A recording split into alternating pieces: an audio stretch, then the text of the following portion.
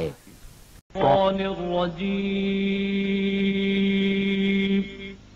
بسم الله الرحمن الرحيم کیا یہ لوگ قرآن میں غور نہیں کرتے؟ یا ان کے دلوں پر قفل پڑے ہوئے ہیں؟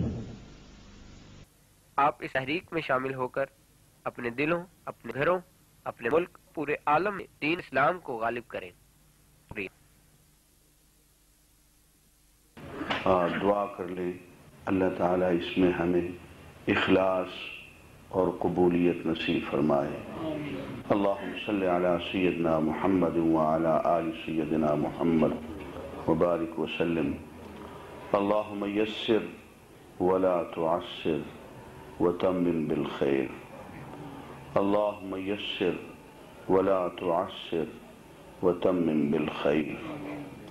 اللہم یسر ولا تعسر وتمم بالخير وصلى الله على حبيبه محمد وعلى آله وأصحابه أجمعين. برحمتك يا أرحم الراحمين. ہوتی ہے۔ عام طور پہ طلاق دینے کا حق میاں کو ہوتا ہے۔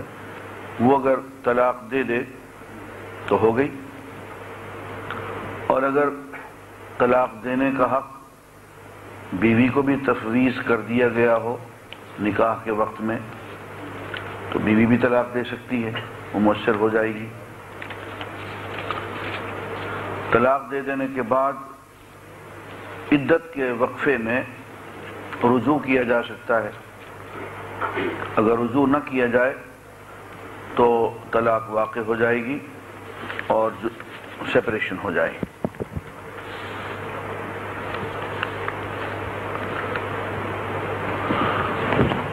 اس درس طلاق کا مسئلہ کیا نا کہ جو دوبارہ یہ بہام میں آ گیا لوگوں بتائیں کہ اگر مؤثر نہیں ہوئی ایک ہوئی ہے تو ہیں کیا ابہام کیا ہے۔ چلیے۔ ہاں داڑھی سنت کے مطابق کتنی ہونی چاہیے اس کے متعلق کچھ بتائیں۔ لیکن اس میں ذرا سا اختلاف ہے۔ داڑھی رکھنا تو واجب ہے اور کتنی رکھی جائے یہ سنت ہے۔ حضور کی کتنی تھی؟ بعض کے نزدیک یہ ہے کہ اس کو بالکل قینچی ہی نہیں لگانی چاہیے، چھیڑنا نہیں چاہیے۔ بعض کے نزدیک یہ کہ اس کو نہیں، تراش خراش کرنی چاہیے، اس کو خوبصورت بنانا چاہیے۔ ایک انگلی، ایک مشت اور تین انگلیاں۔ بعض کے نزدیک ایک مشت اور دو انگلیاں۔ لیکن جو امام حنیفہ کا قول بتایا جاتا ہے اور جس پہ اکثریت ہے، وہ صرف ایک قبضہ یعنی چار انگلیاں۔ یہ ہے سنت کے مطابق۔ خامن کے مرنے کے بعد کیا عورت پر فرض ہے کہ وہ اپنی عدت کے دن اپنے شوہر کے گھر ہی پورے کرے؟ یا اپنے والدین کے گھر میں بھی عدت پوری نہیں کر سکتی؟ یہ حالات پر مبنی ہے۔ اس کے لیے اصل میں ایک جگہ بیٹھنا اور دنیا سے علیحدگی اختیار کرنا ضروری ہے۔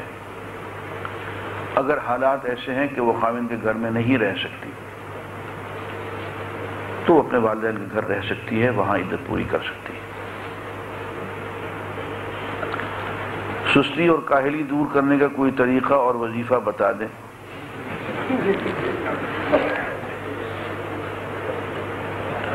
طبیب عشق نے دیکھا مجھے تو فرمایا، تیرا مرض ہے فقط آرزو کی بے نیشی۔ ابھی آرزو کا محبت کا ڈنک ٹھیک سے نہیں لگا۔ اگر پیار کا ڈنک لگ جائے تو نیندیں اڑ جاتی ہیں،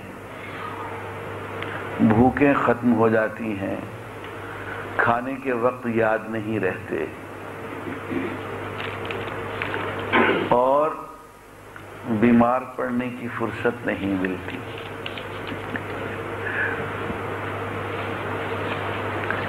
پھر کچھ ہوش نہیں رہتا ہے۔ طالب شاہ بخاری ایک شعر پڑھا کرتے تھے کہ دن کہیں، رات کہیں، صبح کہیں، شام۔ ایک جا رہتے نہیں، عاشق بدنام کہیں۔ دن کہیں، رات کہیں، صبح کہیں، شام کہیں۔ اور وہ کہا کرتے تھے کہ میری ایک تہائی زندگی جیل میں گزر گئی۔ اور دو تہائی زندگی ریل میں گزر گئی۔ سفر کرتے کرتے۔ بات یہ ہے کہ اگر اللہ تعالیٰ اپنی اور اپنے حبیب کی محبت نصیب فرما دے، اور اس سے بڑھ کے اس دنیا میں اور کوئی نعمت نہیں ہے، تو سستی کاہلی تو بہت معمولی چیز ہے۔ میں عرض کرتا ہوں کہ بیماری بھی کچھ نہیں بگاڑتی۔ اور موت بھی آئے تو آدمی مر نہیں پاتا۔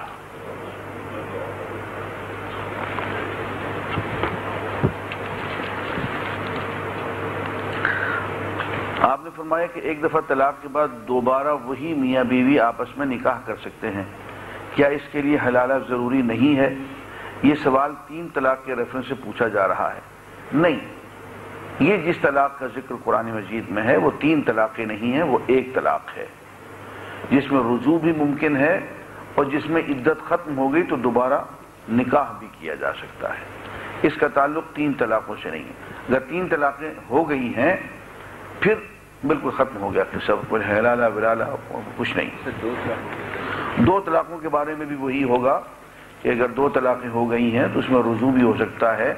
اور عدت اگر ختم ہو گئی، جدائی ہو گئی، تو دوبارہ نکاح بھی ہو سکتا ہے۔ کیا بوڑھی عورت بھی عدت کے دوران گھر سے باہر نہیں جا سکتی؟ وہ تو ویسے بھی نہیں جا سکتی یارو۔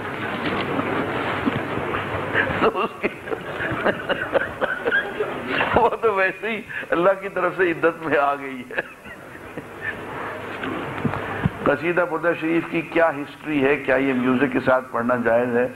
جس سے آج کل ٹی وی پر آتا رہا ہے مزید بنا ٹی وی نے بہت ساری نعتیں میوزک کے ساتھ شروع کر دی کیا ان نعتوں کا سننا جائز ہے۔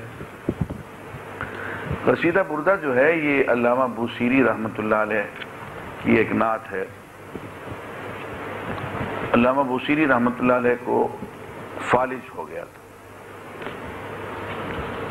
اور بہت علاج کرایا، وہ ٹھیک نہیں ہوئے۔ تو انہوں نے یہ نعت کہی۔ اور حضور اکرم صلی اللہ علیہ وسلم نے ان کو خواب میں چادر عطا فرمائی۔ وہ جب صبح اٹھے تو چادر ان کے پاس موجود تھی اور وہ فالج سے ٹھیک ہو چکے تھے۔ یہ قصیدہ بردہ ہے۔ باقی ہے کہ یہ موسیقی کا سلسلہ اس کا جو ہے، اس میں بہرحال کلام ہے کہ وہ کس حد تک موسیقی جائز ہے اور کس حد تک اس کی وہ ایک الگ مسئلہ ہے۔ جب انسان سمندری سفر میں ہوتا ہے تو اس کی موت واقع ہو جاتی ہے تو اس کا جنازہ پڑھ کر اس کو سمندر میں ڈال دیتے ہیں۔ تو اس شخص پر خبر کا حساب کتاب کس طرح سے ہوگا؟ حساب جسم سے نہیں ہوتا، روح سے ہوتا۔ جسم کو تو سمندر میں مچھلیاں کھا جائیں گی اور ادھر جسم کو قبر میں کیڑے مکوڑے کھا جائیں گے۔ حساب روح سے ہوتا ہے اور روح کا کچھ نہیں بگڑتا۔